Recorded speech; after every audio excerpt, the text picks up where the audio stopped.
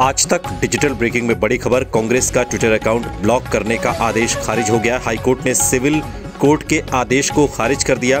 कांग्रेस ने बेंगलुरु कोर्ट के आदेश को चुनौती दी थी। कॉपीराइट मामले पर हाईकोर्ट कल फैसला सुनाएगा। आपको बता दें, कर्नाटक हाईकोर्ट ने कांग्रेस की याचिका पर फैसला सुनाया है। कांग्रेस का Bharat Jodo Twitter account block करने का आदेश खारिज कर दिया। हाईकोर्ट ने सिविल कोर्ट के आदेश को खारिज किया है।